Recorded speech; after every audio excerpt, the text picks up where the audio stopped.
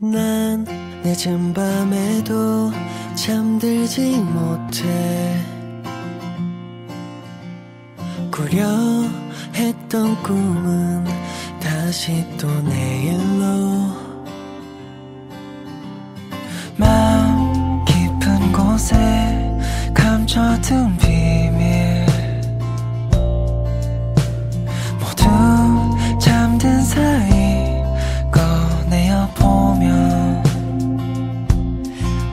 하얀 기로라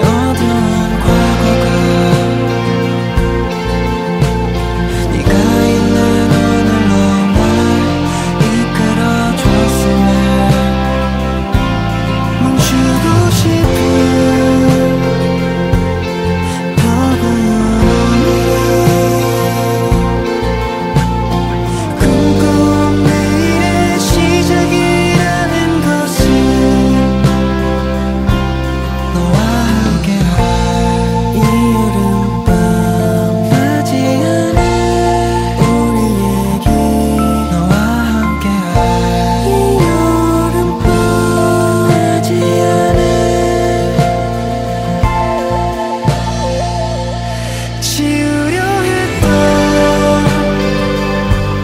내 어두운 과거가 네가 있는 오늘로 나 이끌어줬음을 멈추고 싶어.